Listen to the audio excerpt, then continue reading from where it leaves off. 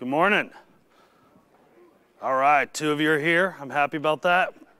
Uh, man, this is the day. This is the morning after replay. You guys are awesome. How many y'all went to replay? Excellent. How many y'all went to bed at nine o'clock at night so you wanted to be alert for this session? All right, good, liar. But okay, I appreciate that. hey, my name is Eric Johnson. Uh, I'm losing my voice. I apologize. So if I cough in your ear, I, it's going to be there. I don't know how to stop it. So uh, I am a senior developer advocate for AWS. And uh, today, we're going to be talking, as you saw there, I'm going to pop that back. We're going to be talking about building APIs from front to back. Uh, and I'll get a little more into that in a little bit. Uh, this is who I am again. Uh, you can follow me on Twitter at EDJGeek. I will warn you, I do. I talk a lot about serverless, but I also talk a lot about my family, pizza, why pepperoni shouldn't be on pizza, Diet Dr. Pepper, Dr. Pepper, all kinds of things. So it's good with the bad. That's, that's the forewarning. Uh, I'm thrilled you're here. I know it is an early morning. Uh, it is also an early morning for me. Uh, and it's, I was like, wow, okay, this is really cool. I'm, I'm glad you guys are here. So um, I have been a serverless tooling automation geek since I can remember. I got into serverless when it started in 2014. Uh, and, and I absolutely adore it. So I'm glad you're here. Uh, I'm a software architect. I've been a solutions or software architect since 1995.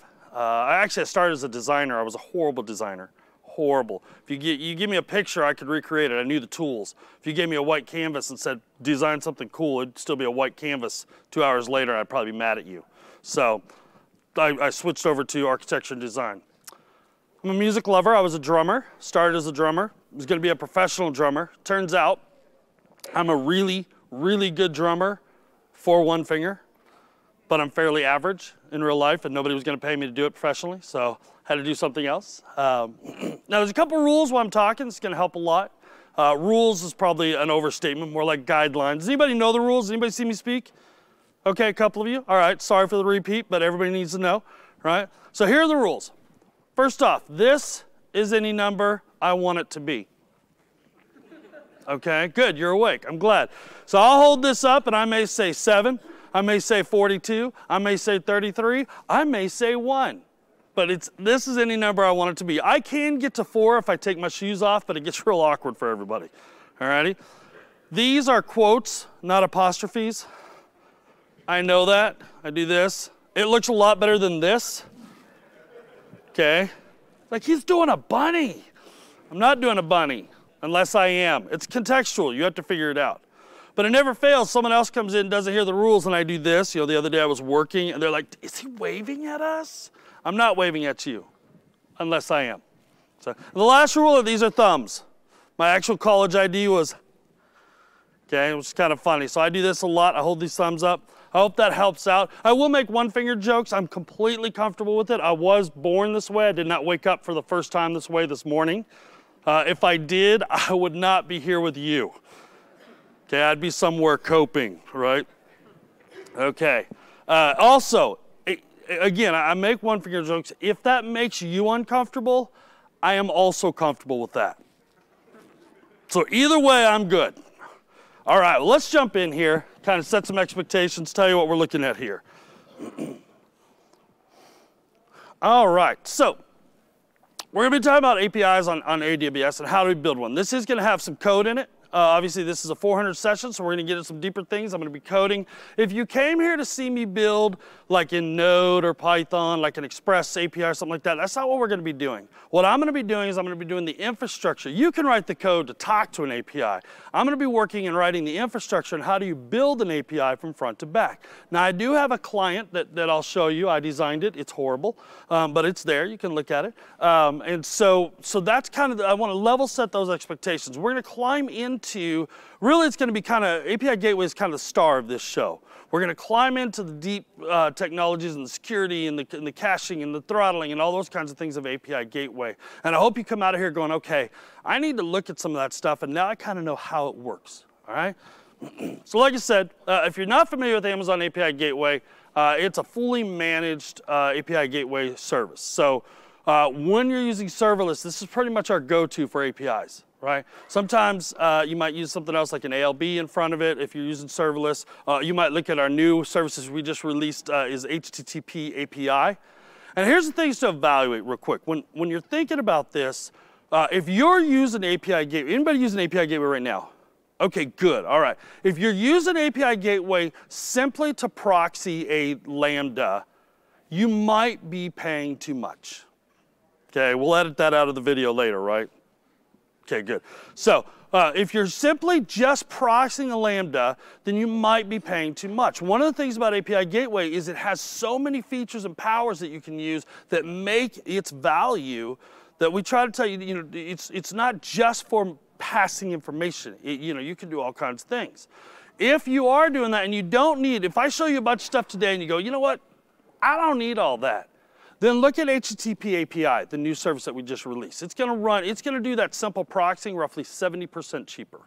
Okay, so take a look at that. All right, so let's look at it. Hopefully, like I said, this is a 400 level, so you kind of have an understanding of API Gateway and what it is. We're not going to, we're to climb into a lot of that, but just real quick, I'll give you an overall uh, structure.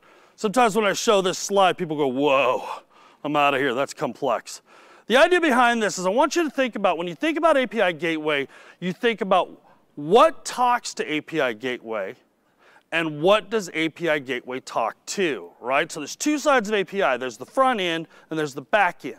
And the front end, we can have regional, we can have edge, uh, edge uh, optimized, or we can have private APIs. So, and those are kind of like they say, regional is just going to be like in the US West or something like that. Now, that doesn't mean that you have to be in US West to get it. It just means that if you're across the world, you're going to have a little more latency. If you have an API that you're running that's, that's global, that you know your clientele is global, then you want to look at edge optimized, right? Excuse me. Or a private one, which means you can only get to it through VPCs. All right, and then on the back side with API Gateway, you can hit AWS services, obviously, or it wouldn't make much sense to us, right? Uh, or you can hit uh, stuff in like private in VPC or in VPC or to your on-premise stuff through a VPC link. And a lot of people don't realize this, any other HTTP endpoint on the web. Okay, so you're able to actually put this in, if you have an HTTP endpoint, you're, you're consuming a service that you have to deal with throttling and caching, and you can't, and you have to do it for multiple customers, and you want, and you don't want to deal with it there, you can drop an API gateway in front of it and handle it all right there. So, very powerful. All right, there's six ways you can control API, or you, you can control, you can manage API gateway. Uh, there's the management console. Obviously, you can go right into the console, and you'll see a lot of that today. Some of the stuff I'm doing today, every, in fact, everything I'm doing today, you can do through either SAM uh, and OpenAPI combined. but I'm going to do a lot of it in the console because it makes a little more sense, and you can see it, and you can go, oh, okay, I get that switch, I get that trigger, okay. Uh, you can do it through the AWS CLI if you're writing your scripts uh, to script through the CLI. You can use AWS SAM. SAM you're going to see a lot today. I've built most of this in SAM. Okay, if you're not familiar with what SAM is, anybody using SAM now? Okay, a couple of you. How many are using CloudFormation now? Okay, so SAM is an abstract that sits on top of CloudFormation. It is a CloudFormation template, but we have specific serverless resources that are, that are in SAM. When you run it, when you uh, deploy a SAM template, it actually deploys to CloudFormation and it goes through what we call a transform, okay? And the cool thing about it is with SAM, I can build a, I can build a function. In fact, let me show you here real quick. I have it on screen, I can show you. I can do 20 lines of code and it'll build a function, an IAM role, an API gateway, and a DynamoDB all there. So when I do this, I get this. All right, so that's so if you haven't looked at SAM and you're building serverless, I heavily encourage you to do that.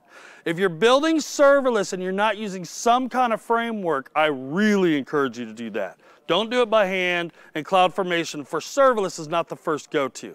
I would look at SAM, one of our partners, serverless framework, uh, different things like that. So general idea, I'm gonna go back for a real quick second. You'll notice here, I'm building the function, and then I'm, I'm adding, it right in the function, I'm adding an IAM role. And this role is a, called DynamoDB read policy. And this is a private, uh, or I'm sorry, this is an AWS managed policy. And I can pass it a table name. So right off the bat, I have least privileges going on. Okay. So the next thing is I'm building out, and I want you, this is one I want you to see is the event. So if you, if you know anything about serverless, anytime we do serverless, it has to have an event to trigger it. That's, I mean, if you want to define something serverless really simply, it's like something happens, the Lambda goes, okay, something happened, and then it does something. I mean, that's kind of serverless in, you know, serverless for dummies, I guess, uh, which is for me, right? Uh, so you have to understand that every time we, we have a Lambda, we have to have an event that triggers it, right? So here, I'm saying the type is API, and the path is products, and then we do a product ID as, as a path parameter. And the cool thing is, is SAM is smart enough to go, okay, you put API there, I'll build an API gateway for you, and we're done. Okay, so again, I do that, and I get this. All right, so let's look at what we're going to build today. We got a lot to cover. I'm, I'm, going pretty quick, so bear with me. Hang on. Um, we're going to do a little story today. I want you to meet some friends of mine. This is Angus and Ellie. That's exactly what they look like. Pretty proud of that. Um, they have four fingers. Figured it'd be a little weird to do one finger, but like, how does this apply? So, anyway, they're a newly married couple, right? Now, they're named Angus and Ellie because I tried to name our kids Angus and Ellie, and my wife said, uh uh, not happening. So I named my characters in my story Angus and Ellie. I have five kids. I got to name the first three, or uh, partially. Um, uh, no, I didn't. My, I was overridden. Um, and, and then I didn't get to name the last two either. So I named the characters in my story. All right, so back to our story here. So meet Angus and Ellie. They're newly married. They want to keep track of each other. They're budding developers, right? Hey, we're developers. We want to learn how to do this. We want to build it ourselves, uh, and we want it to be secure. Obviously, you know, we don't we don't want everybody to know what we're doing, and we want to use serverless because serverless rocks, right? Okay. So here's what we're designing. Yes, I designed that. No, I'm not available for hire. Okay, you're like, we have to get him. Alrighty? Uh, so the, basically it's very simple. They, they enter their device. It may say like a Angus's phone, where they are, fell asleep on the couch. that would be me. Uh, and then it does a, it does a message, uh, I'm sorry, then it does a timestamp and an ID and all the stuff in the backside. Okay? So, phase one, we're going to break this down in phases. Okay? Phase one, we're going to build a basic family website. All right? So what does that look like on AWS serverless? These are the services that I would generally use. Any front-end developers in here? All right, back-end developers, full stack developers, right? We're really all of everything nowadays, right? So here's a couple things. Here's how I break this down, okay? For our, kind of our back end, we're gonna use API Gateway, obviously. That's our API. We're gonna use Lambda for our compute, and we're gonna use DynamoDB for our storage. For our hosting of our client, I'm using Amplify Console. If you've not looked at Amplify Console, I really encourage you to, okay? So all I have to do, it's powered by Amazon CloudFront, Amazon S3, and it uses Lambda at Edge. And all I have to do is I open up Amplify Console, I create a new application, I point it to the repository, be it GitHub or CodeCommit, that my client is sitting in, and I have a CI/CD process okay? It's gonna, it's pretty good. It knows if it's Angular or React or Vue.js or whatever, or, or I can customize the build steps, and then every time I commit to that, it's gonna build out on the website client. I can use custom domain, I can use rewrites, there's some testing procedures in there, very powerful. You don't have to use, and, and this gets a little confusing, you don't have to use the Amplify CLI or the Amplify framework to use Amplify Console. So if you're just a, sim, a sim, that came out wrong. If you're just building a simple website, I almost say if you're just a simple developer, there's no such thing as that, right? If you're just building a simple website, you can use this. It's very powerful. All right, so let's look and see what we're doing. Switch this over here. All right, that's a good sign. Everybody read that? Can anybody not read that? All right, good. My old eyes would, would have a hard time. So what you're looking at here is the SAM template for the very first phase that we're going to build. Okay, now I've already deployed this template, okay, because this is pretty simple. So I'm just going to kind of walk you through it real quick so you know what we're looking at. Um, all right, so first thing I've got is I'm passing in, I've got the globals, I'm passing in some function settings. This whole thing is Node.js 12. I am a Node developer. Um, some would argue that, but I think I am. And uh, then I'm passing my handler, and then I'm setting my CORS right here, okay? How many of y'all love CORS? All right, excellent. I'm telling you, and I said this in a session the other day, if CORS had a face, I'd punch it in the nose. Right? If you're not familiar with CORS, CORS is cross-origin resource scripting or something like that. I'm not sure if that's exactly it, but I'm pretty sure that's what it means. So basically, it's a browser security that you have to pass some information from one a browser on one domain to talk to a different domain. An API gateway can handle that for you. We won't climb into that too much right now, but just kind of get an idea there. Now, I'm also declaring my API. Now remember on my previous example, I actually declared the API in the function. But because we're gonna add some more settings and I wanna get real granular with my API, I'm gonna declare it independently. And that works just the same. And you'll notice in my function here, I'm using the same syntax. The only thing I'm adding is I'm saying, hey, tie this to the existing API that I just built. I'm sorry, the API that's in this template that's separate. Okay, and finally, this is my DynamoDB table. Look at all that code I had to do. I was up all night coding that to build that DynamoDB table. Okay, very simple. It's called a simple table. And all it does is it brings up a DynamoDB table with an ID as a hash or a key, if you're not familiar with that uh, and its dynamic capacity. All right, so I've built that out. Let me show you what that looks like on API Gateway. Okay, so this is the console and API Gateway, and it's real simple. I've got my get, I've got my options. That's what that CORS did is it built out, it built out my options. This, you, hopefully if you work with APIs, you understand what a pre-flight check is and options, things like that, and you hate CORS as passionately as I do. All right, uh, and then I've got my post. Now notice there's this big glaring thing. It says authorization none, okay? So what that means is any old person could pop up there, postman, and they can hit send on this, and they can get the data that's in there, okay? So this, so I'm using postman. Let's post something else. So in, in this, I'm just gonna pass a, a raw JSON string, and Ellie is at home. She's ordering pizza, and looky there we have built, with that SAM template that I showed you, we have built an API. You may go. No, I'm just kidding. That obviously isn't enough, right? We got to do some more work on this. But you kind of get the idea here that very quickly with SAM uh, and, and more importantly, infrastructure is code. If you go anywhere else, any other cloud, any other privilege, stuff like that, use infrastructure as code. Okay, that's that's it's it's a way to be to build out to version and all that kind of stuff. So. All right, let's go back here. All right, quick review. Obviously that wasn't a lot of code. If you're like, man, is that all he's gonna show? No, we're gonna get heavy into it, okay? But just kind of do this. So we built this, all right? So we've got our client, we've got our API gateway. That's not the real domain. I'm just using whatever one it's pumping out. I got a get function, I got a post function, I got a, I got a records table, and we're good. Okay, I told you I'd show you. This is what uh, that uh, this is what uh, Amplify Console looks like. Very cool. All right, I can attach to multiple stages for testing things like that. So this isn't an Amplify Console session, but I would tell you to check it out if you can.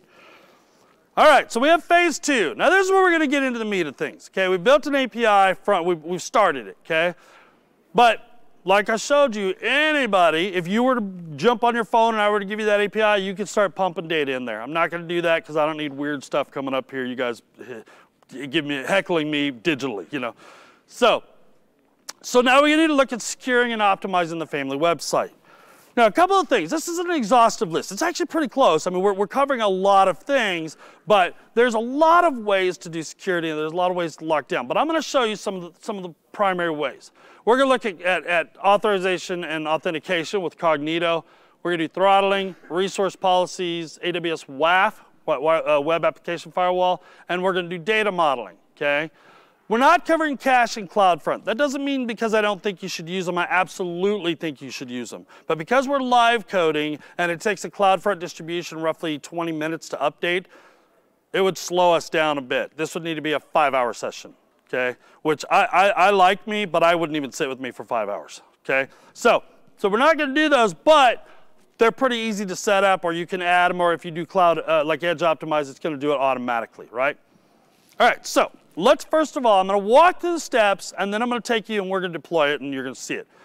So, first thing we're gonna do is authentication and authorization. Anybody build their own authentication system?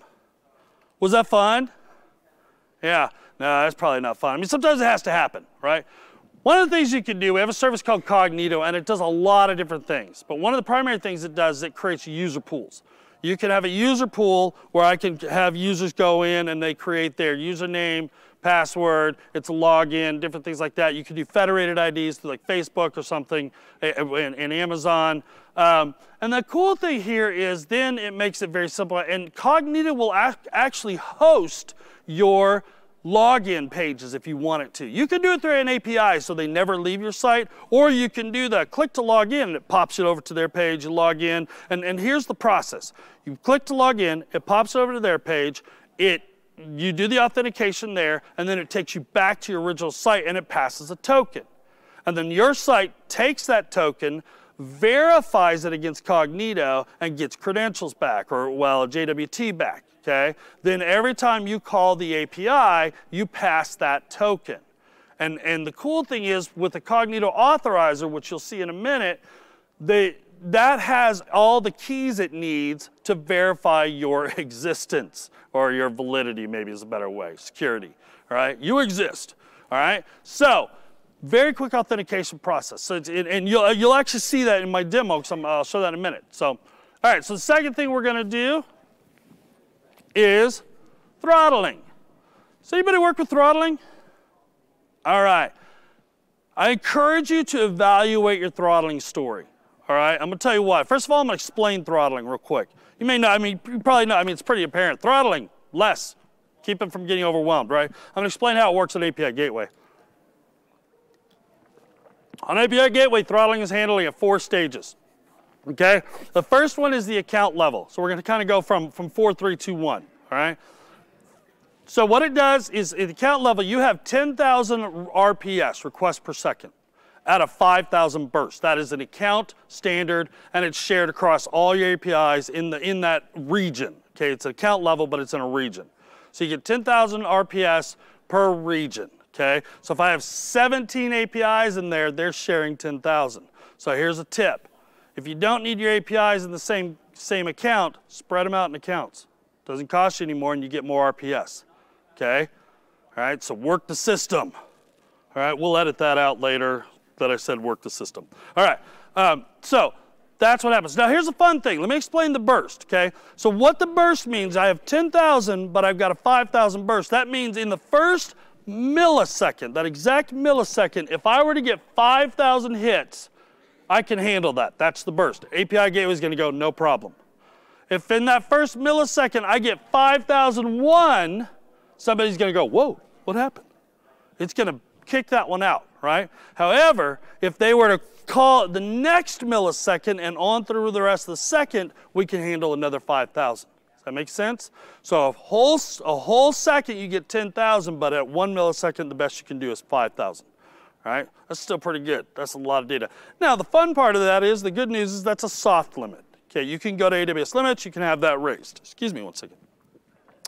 All right, so the second way we do this, we, uh, we do throttling is at a method, okay? So in here you can go in and you can say, we're gonna set, uh, we're gonna set, if, if I'm at the method of cars, so hit my API forward slash cars, forward slash whatever. At that method, or I could say forward slash star, all my methods. I want to break that down, at, and this is at the API level, to maybe 2,000 with a 1,000 burst.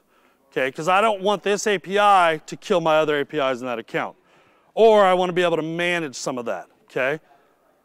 The third way we do it is now through what we call a usage plan or client level. So if you, let's say you have a bunch of services that are hitting yours and they're really chatty, they're just pounding away, okay? They post a lot, they get a lot, and, and you don't want it to keep your users, your, your humans, from being able to, to get to the API.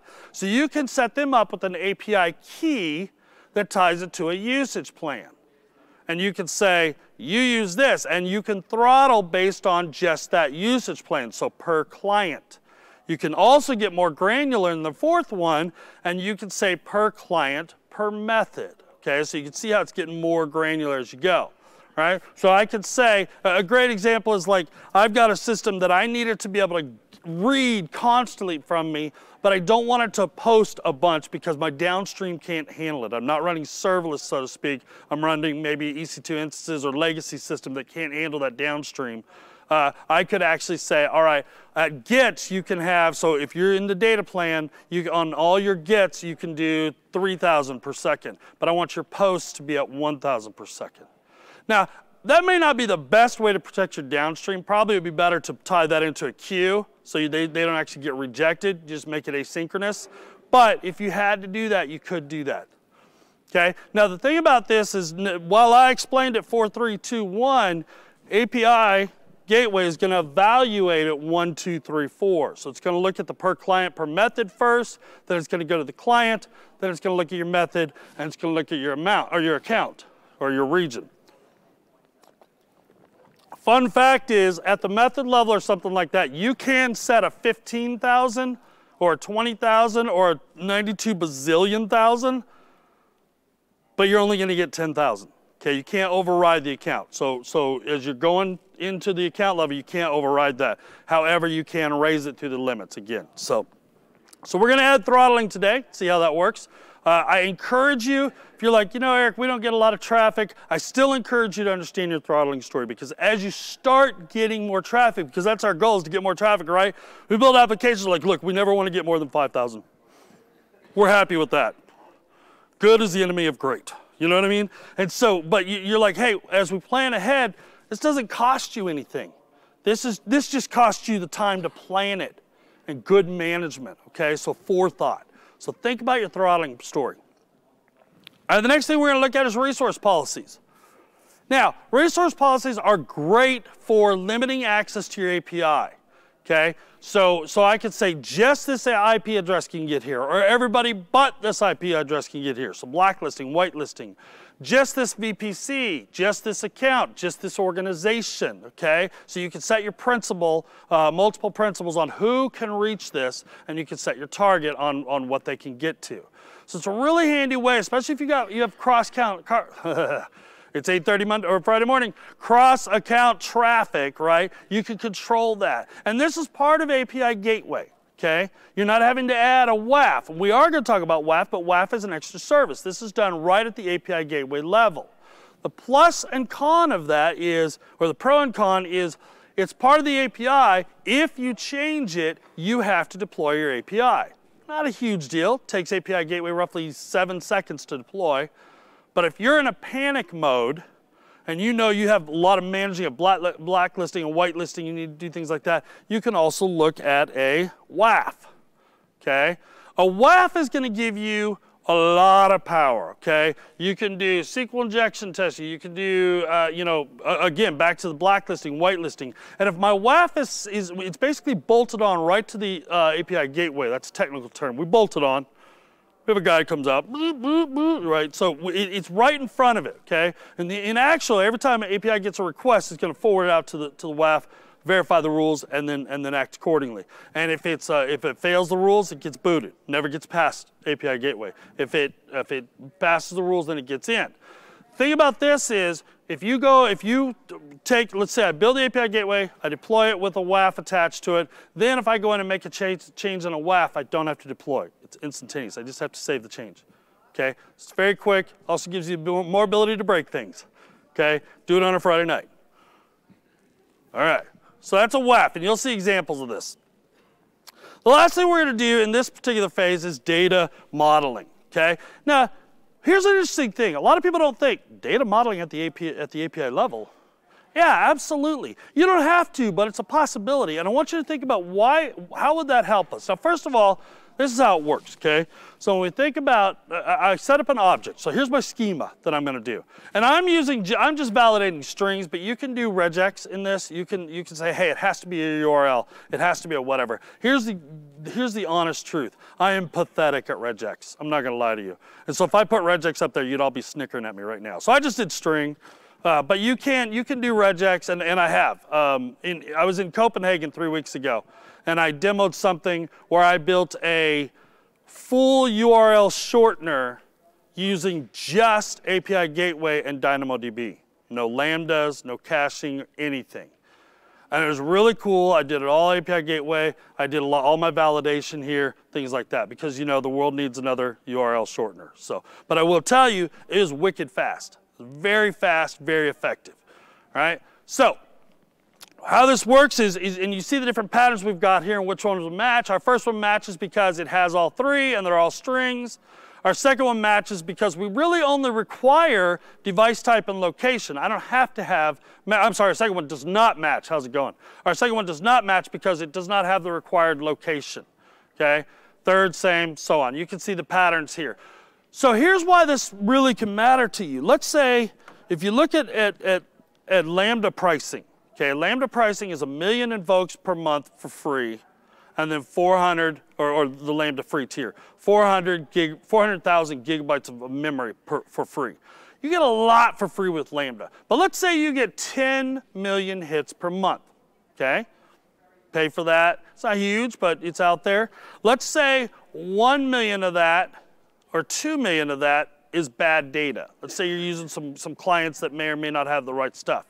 So think about this. If I'm validating at the API level, which they have to hit the API anyway, an API kicks it out if it's bad data, if it doesn't match the required payload, then I'm never invoking that Lambda. I'm saving roughly 20 or 10 to 20% on my Lambda cost simply by validating. Now that's probably kind of an extreme story. Hopefully not, you know, 20% of your clients don't have the wrong package. You might want to evaluate your clients. But you get the idea of saving that, and it can be managed in infrastructure as code as templates. All right, so let's look at some code. Let's do this. So this time we're actually going to deploy. Okay, so first of all, we're going to go over to our template. I'm using Cloud9, by the way, if you're wondering what IDE I'm using. Uh, I love Cloud9. It's easy. I can bring it up on any machine. My machine was actually giving me grief this morning. I was going to have to borrow one of yours, but I did get it up and running. So, uh, all right. So first of all, we're going to do a deploy. Okay, so let's go. I've got this in, git check out, phase two. Okay. And that's not going to work because I'm not in the folder. So let's go CD, Angus, LE, Back in, Let's do that again. All right, so change to phase two. I don't know why I spelled out phase two. I could have done P2. This gives me all the opportunity to fat finger right in front of you. I have two fingers. I'm the worst fat finger in the face of the planet, okay? All right, so I have a long deploy process. You ready? There we go, I'm done, okay? Now, this is not a CI/CD. I'm deploying right from my account. And I, no, I'm not done. There's still some work going on. But we've just updated the SAM CLI that you can do deploys. Very simple. What it's going to do is it's going out. It's actually gives it here. It created a change set for me, and now it's actually deploying the change set and giving me status. While that's going, I'm going to show you the template, show you what I did. I'll pop back to that screen for those of you who want to take a picture of it. Okay, so the first thing we're doing right here, line 31, is I'm adding that, um, well, it starts at 28, I'm adding the throttling. Okay, I'm setting a method level in the method settings, and I'm saying for every method and every resource path. Now remember, I can, I can get you some pattern matching on this, but I'm saying for all of them, I want to add a throttling rate limit of 2,000 with a throttling burst limit of 1,000. Okay, so that's how I add throttling. Not terribly hard, is it? Right? Right there in the infrastructure as code, I just pop it in, okay? The second thing I'm gonna do is I'm adding my authorizer, okay? So I'm saying in auth, I'm gonna use an authorizer, then I'm gonna, this is my logical name, that's just what I call it so it knows what it means. And then because I pass it a user pool ARN, it knows I'm building Cognito and I'm using a Cognito authorizer. Now, where did that come from? I actually have another template here this template's the magic template. This guy builds out a full Cognito authentication system, including the hosting, the custom domains, all that kind of stuff. I've had a ton of people ask me for this. I'll give you for 10 bucks. That's not true. Here's what's going to happen. If you follow me on Twitter later, later this, this sometime in December, I'm going to open source all this. And, and we do that for free, obviously. I'm going to put it out where you can get at it. You can run this, and it actually exports let me show you real quick here. Down at the bottom, it exports the user pool ID that I need, okay? So over here in this one, I actually grab that value, okay? So that's, I'm using import and export to pass that. Okay, so the next thing I'm doing is I'm adding my resource policy, okay? And I'm using the IP range blacklist. So I'm saying if you happen to be, and I'm picking this IP just out of, out of the air, which would be hysterical if it's my IP and then nothing works and I can't explain it to you. which I'm always paired because I would be the guy to pick that IP. Unless there were money on it, then I couldn't come close to it. So uh, I don't gamble here, for my, my wife has forbidden it. So um, anyway, so this sets up a blacklist that says if you're on this IP, it gets blocked out. I can do a whitelist. I can do a, I can do a range of, of IPs, but I, I feel like that's really test, that's, that's risking it, you know. All right, and then the last thing I'm adding is a model, okay? So the model here, like I showed here, the required amount, the different properties and what they should be. Uh, I'm sorry, it wasn't the last thing. This is how I'm declaring the WAF. Okay, so how this works, start at the bottom first. This is the geo list. This is a specific type of rule uh, base or, or, or geomatch set. Then I'm building the rule that implements that geomatch set. And finally, I'm building the web ACL that ties in that rule. And the way that works is, is you can put multiple rules to this web ACL okay? So you can add those and remove those. So the last thing I want to show you is right down here on my get function, I did actually add the authorizer, okay? Now that means that now that I've built that authorizer out, now I want you to use that authorizer to validate the users coming in, right? You can add an authorizer and not do anything with it, okay? And the reason for that is because we want to say, hey, I'm going to use it on this function and this function, but this function I want them to be able to come through. Or I might use a different authorizer on another function, right? So you can do different things. Okay, so let's look and see if my build worked. It did. So if you want to, I know some people are trying to take a picture of that, that's the actual status where it's coming through, and it's done two things. It's gone through all the statuses, and then it's output any values that I wanted to know. Okay, one of them was the, uh, I get the API out of this one. All right, so let's go look and see what that did. Now, notice it doesn't look different. Here's where you want to do a refresh, okay? I learned that the hard way. It doesn't always, it doesn't always check to see if there's changes in the background. You don't do a refresh. First thing I'll, I'll pull to your attention here is now my authorization set doesn't say none. That's a good thing, right? Now it says, hey, you're using a Cognito User Pools authorizer. So let's see what that does to our client. So I'm going to go over to Postman.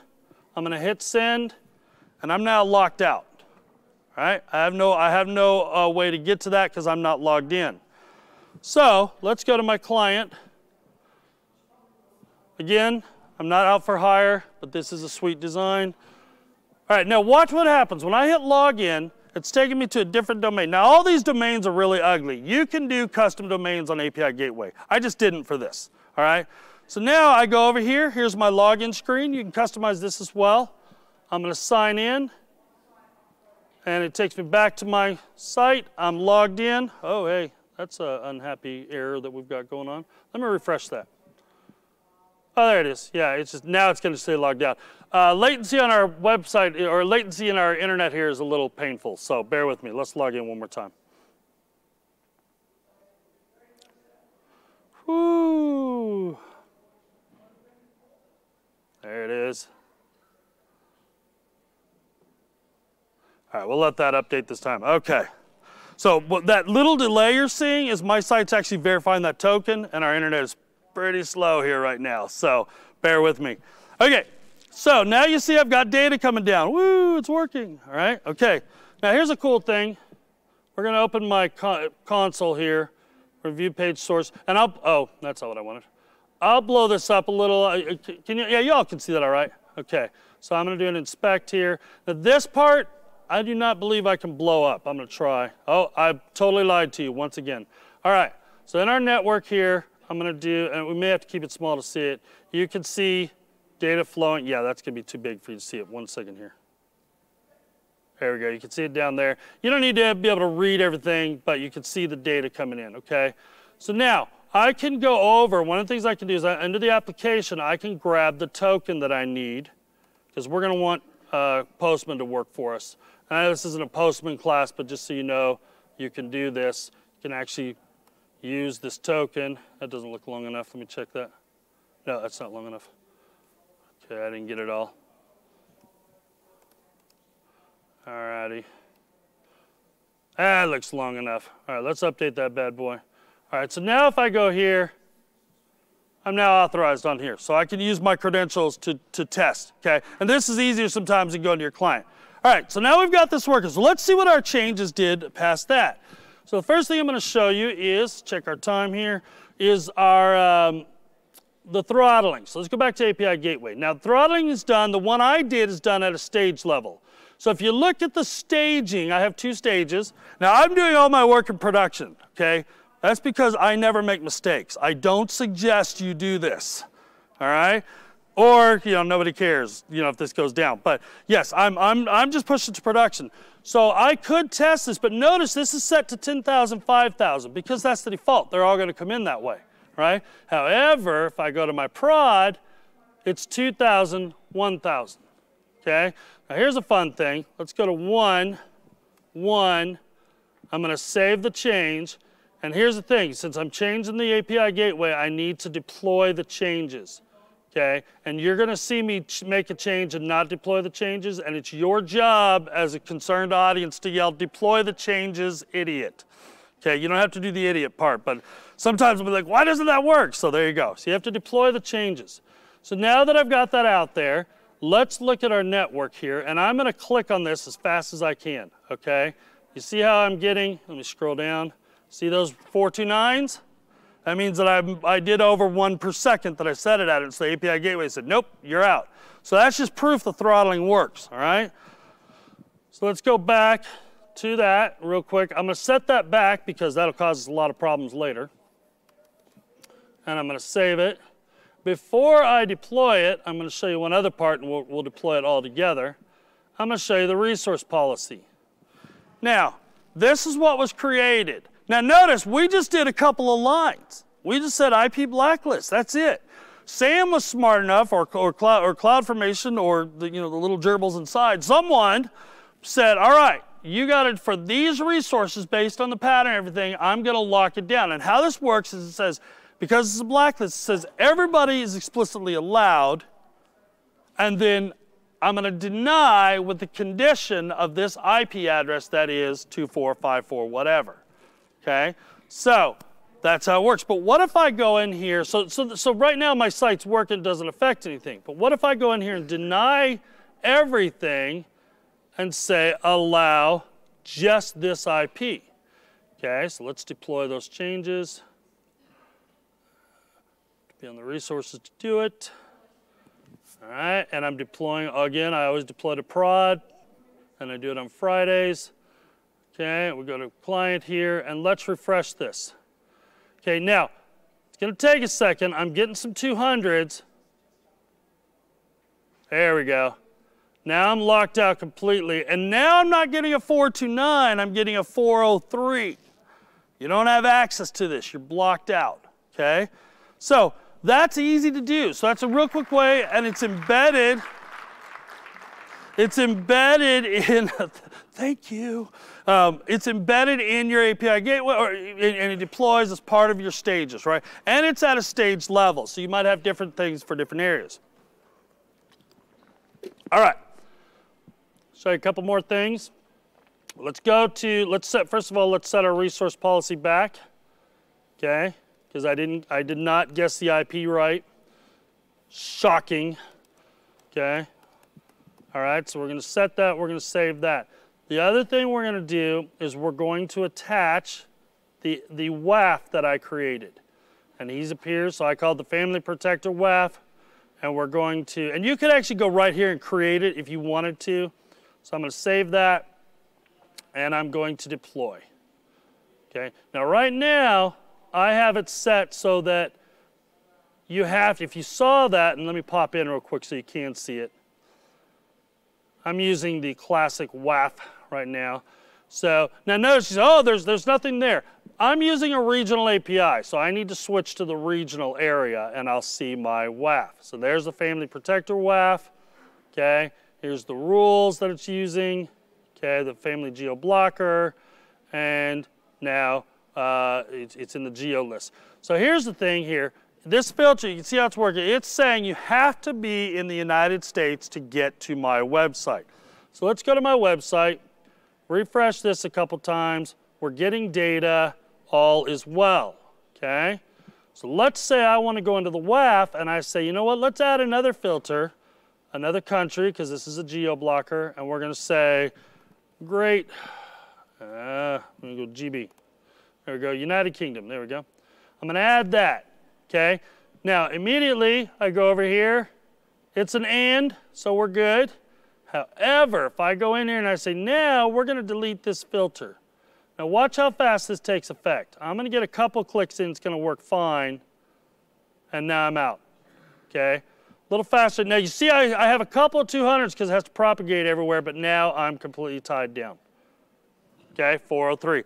So you may say to yourself, when do I use a resource policy? When do I use a WAF? Start with the resource policy, okay? Unless you need a little bit quicker changes. Deployments are pretty quick, but I'm using a pretty small API here, right? So if you have bigger stuff that you need to do, look at resources policy first because it's built in as part of API gateway, right? If it's not handling it, if you need more complex ruling, if you need more complex filtering, then look at a WAF, okay? All right, so let me take that off. And we're gonna do a couple more things here. Let's add the filter back in, country. Actually, you know what I'm gonna do? Is I'm just gonna remove the WAF for now. So I'm gonna go in here, I'm gonna set this to none. Okay, my WAF is still out there because maybe I'm using it on, on another one. I'm gonna deploy this to prod and our site should start working again. Here we are, yes. Okay, beautiful. All right, so, last thing I want to show you is the filtering, okay, on how that works. So remember, I said we've got a, a model called a device data, and there it is. That came in from what I built in the structure. If I go over to my resources, I haven't applied it as a filter yet. So I'm going to apply it to one of my resources. So I'm going to go in and I'm going to say in my post, because I don't care on my gets, because its data's already there, but on my post, I want to apply, and this is in the method request, I'm going to say, first of all, I'll show you, the body's already existing, it's tied to the content type application JSON, and I'm going to say validate the body. Check that. Okay. There we go. Yeah, I hit it twice, so everything's okay there. All right, so let's go ahead and deploy this. Goodness gracious. All right, so now this is deployed. So let's go back to, let's go back to uh, Postman. I've got another one here where I'm gonna use the body. Notice my body is the house and the device type is one, two, three, four, five, six. I'm gonna hit send. And hopefully our latency will, there we go. And this worked. This is fine, okay, because it passes our validation. But what if I go in and I say device type string? Now watch how fast this responds. Okay, I get invalid request body. This never made it past API gateway, right? I didn't have to do any business logic at my, uh, at my function. All right, so again, this is a great way to do some validation. It, it, has, I'm not gonna lie to you, sometimes it's a little odd, you know, okay, that's in our API gateway, we're managing that in templates, but it's a good way to look at it. All right, so we have built out phase two. Let's jump back over. Now we're going to get kind of fun, or I think it's fun, but that's why my wife calls me a, a geek. So here's what we did. That may be kind of hard to read, but you saw it in my screen, but you're welcome to snap a picture of that. Um, here's what here's how it came out all right so we added a resource policy we added a WAF we added throttling we added we added validation uh, we added authentication our site's pretty secure now and it's fairly optimized because we've stopped, we, we've stopped it from going to Lambda if it didn't have to, right? But as all projects do, we've got a change in requirements. The scope has creeped on us a little bit. Guess what happened? Meet Rufus and Beatrice. All right? Also names I didn't get to use. All right? New family members. We have the same goals for them. We want to know where they are. Okay? We need a simple device. They're not going to be great at putting in. We just want it to be automated. So, meet Scott, the ugly phone. I named it Scott because that's my brother's name, and he'll see this video at some point. So that's just a poke at him. All right. So Scott is a simple phone location service, but Scott's a little chatty. Okay, his job is to say, here I am, here I am, here I am, here I am, here I am. We don't want to pound our API gateway. We don't want a billion invokes. So what are we going to do? We're going to add a usage plan. Okay, we're going to limit how much Scott talks to us. If this worked in real life, that would be awesome. Okay, I love my brother. I have to say that. All right, so the API key allows devices to connect to API uh, and data plan uh, throttles connections, right? So now you can do that. The second problem with this is the simple phone cannot modify the outgoing payload. It has one payload. It doesn't match what we have, the one we're using. So if we have our data validation in place, it's going to get kicked out every time, right? So what we need to do is change it. So we're going to transform the data, okay? So currently we want device type, location, and message, uh, but what it sends is device ID and geocode, okay? So we're going to get, we're to need to transform this data, but we need to ask ourselves, where do we want that to happen? Well, we could do it here, but again, we have our data validation to worry about, right? Or we could do it here. So not only can you validate the schema, you can uh, modify the schema, all right? So let's look at how we do that, okay? What we do is we have our input here. We're going to use what's called a mapping template. It uses VTL, Apache VTL, which is Velocity Templating Language.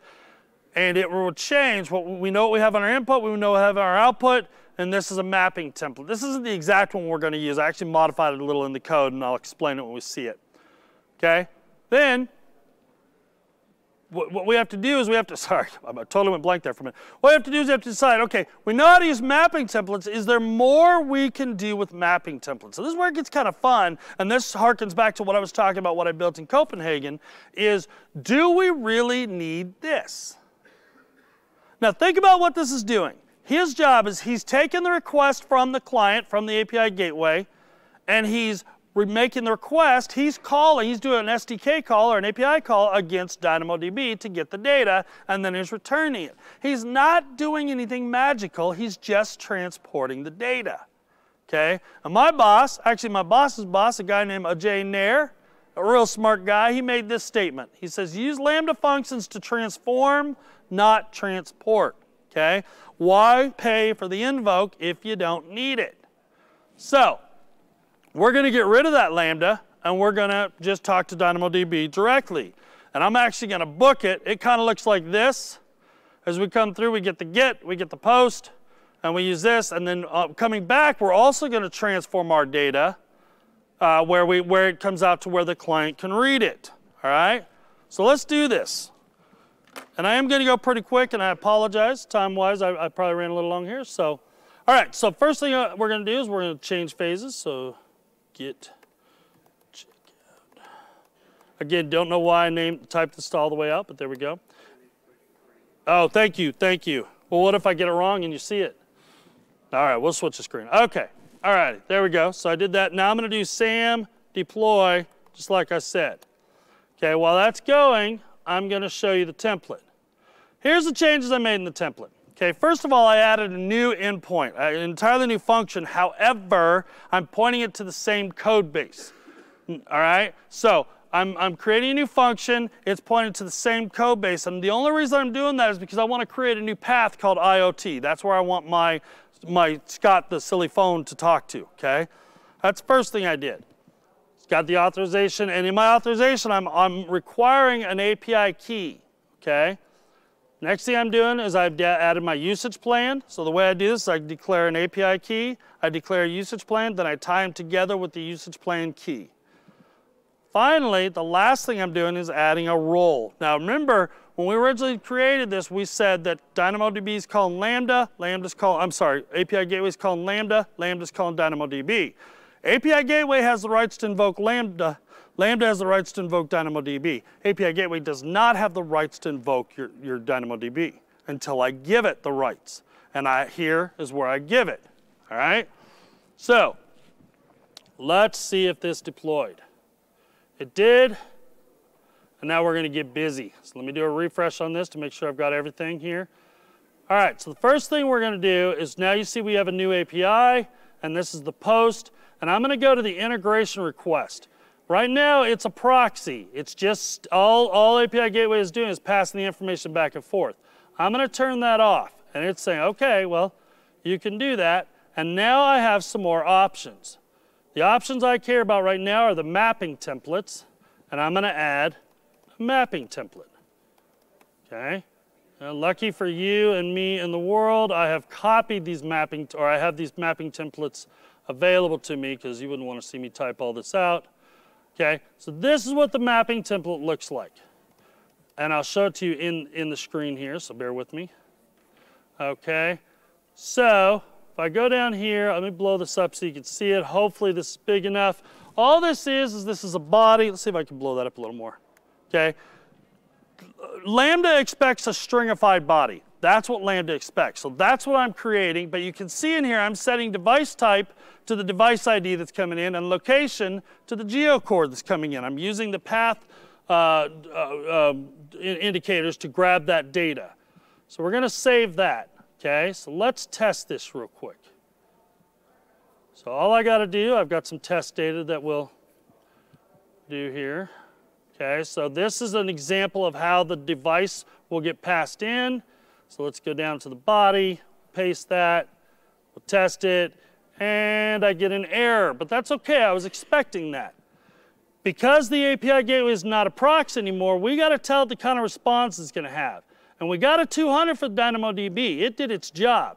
So we can go back to the method response and we add a 200. We tell it, okay, this is what we're gonna do. We also need to say what kind of headers are going to get passed back. And in this one, the one we care about, and I'm going to grab it because I always get it reversed in my head, okay? It's called the access, and this is CORS stuff, so it's okay if you load it. Control, allow, origin, okay? So we're going to pass this back. And so, uh, oh, spell that right. API Gateway knows it. Now notice I'm not setting a value here. And the reason I'm not is because it's actually set in the integration, okay? So the, so the reason that is is because you may want to set it from your code behind the, the scenes, from Lambda or something like that. Right now I'm setting it to star. That is not the most secure way of doing it, but we're going to do that because we're not using real domains anyway. Now if I test, let's do a test here, and I got data back. Okay, so I've now done changed that data, how it should map, and now it's coming back to me. Now I don't care what this looks like because of these are dumb devices and I'm not sending anything back to them. So I'm gonna leave that alone, all right? So next thing we're gonna do, we said under our get is we're gonna get rid of the lambda here. Okay, now right now we said we're using a lambda function proxied. We're gonna change this. We're gonna say AWS service. When you do that, you have to set the region. US West 2 is what I'm working about. You tell it the, the service, and I want to scroll down here for a minute because I want you to see the vast amount of services that you can integrate with directly. Okay, a lot of them. So we're going to go DynamoDB. Now, I'm going to do a post. And you're like, whoa, whoa, whoa, whoa, you're doing a get. Well, DynamoDB always expects a post. Okay, that's just how it works because it's going to do action on whatever you're doing. So I'm going to do a post. Here's where I tell it, if you've worked with DynamoDB API, I'm going to tell it we're going to do a scan, okay? All we're doing is grabbing all the data. Now remember I said we need permissions to do that, so I have this, I actually created the right role for that. I said we need, oop, not resources, the outputs. Here's the role that I'm using to create, to, to allow API Gateway to talk directly to, get the right tab, DynamoDB. Okay, there's the role. I'm going to save that, do OK. Now, in this one, here's what the mapping template looks like. It, again, if you've ever used the SDK, this should look real familiar to you because all you're really doing eh, to do a scan is we have to say, and I'll explain that pop-up that just popped up in just a second. But to do a scan, all we have to do is say, this is the table name. So we pop over here, We'll do the table name. We'll save it. That window that popped up, all it was saying is, hey, when do you want me to pass data to the backend anyway? When no template matches the request content, when there are no templates defined, or never. If I don't have a template defined, I want it to pass to my backend and it can deal with the logic. Or I can just reject it if I want to. But that's the window that was popping up. All right, so let's go back here. Now we already we already discussed the, that now we have to declare this, so I'm not gonna do that. So, and, and I'm gonna, I wanna add the header for the moment just for time, but we can go into test here. Now let's see what we get. This is a get, hitting directly. We're getting data. You see how fast I got the data, right? So I talked directly to it. So the last thing we're doing, we got the data, but it's not data that we can really use. It's not what our client wants. So our, in our integration response, I'm to do a mapping template, application JSON, and the last mapping template I'm to use, you can tell I use Alt Tab a lot, okay, is this. Now this guy here, I'll explain him when we get it in there. All right, let me blow that up a bit. His job is to set a variable, input root, and he's going to set it to the input path. That grabs all the variables, okay, or all the data. Then he's going to loop through the items in the input root, and he's going to say device type will match element device type dot string or dot s, which that's how the DynamoDB data looks, okay? Then the last thing he does is if there's more, add a comma. If there's not, then get rid of it. Okay, so he actually loops through all the data and he formats it how we want to. Let's bring that down size-wise a bit. Now let's test it and see if I know what I'm doing. I really hope I do. And I need to hit the right, hang on a sec, I didn't hit test, sorry. There we go, let's go down here, there it is. Okay guys, my, my scroller seems to be jumping on me here. There we go, test. Now we have data that matches what our client is looking for, okay? And that's it. We've just built an API front to back. Let me, let me flip this back over real quick here.